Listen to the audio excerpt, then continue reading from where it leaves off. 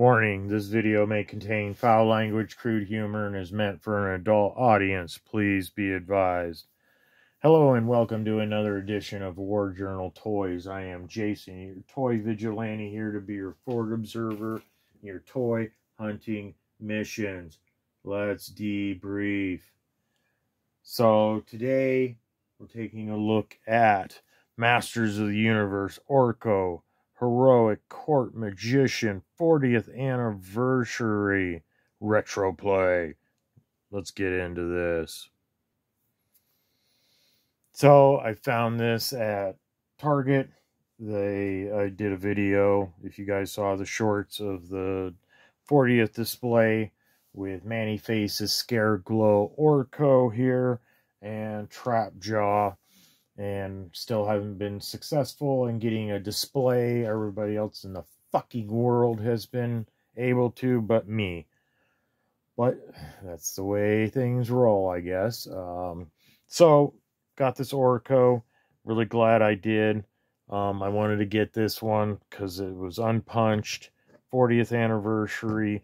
I had one that the card was kind of fucked up. It wasn't very good um, of the original 2020 release. Um, so when I got found this one, I'm going to keep this one on card, and I decided to open him up and take a look. So this one comes with the 40th anniversary card unpunched heroic court magician. Um, I, I like Orko. I like this version, the Origins version. I do not like the original vintage version because you could remove his hat and his head looks so stupid. And I, I mean, even back when I was a kid, I saw that and I'm like, that's fucking dumb. It was a bad. They should have never taken, been able to take off the hat for Orko, in my humble opinion. But there's the artwork throwing shit in Beastman's face, which is cool. And uh, so with this card, the only difference is you get the vintage head they show He-Man and the vintage head Skeletor with closed mouth. Everything else is the same, even the UPC. And then the rest of them from this line, Man-E-Faces, Trapjaw, and Scareglow. So there's that. we'll take a closer look at him.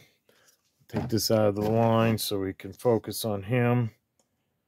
So I really like the eyes on on let's turn this on. I really like the eyes on this one. The hat doesn't come off which is good but with the head it's just it's a way better figure than the vintage one in my opinion when it comes to orko.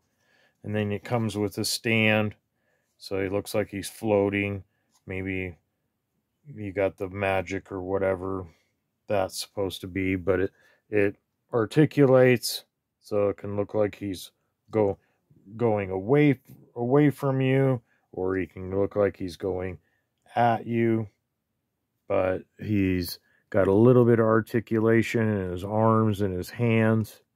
Um, I don't think he ever had a staff or anything so it was just his hands. You got to watch too guys because his eyes they're not always painted the best so pay attention to that if you're going to get one for display plus around the ears too, if you can see right there.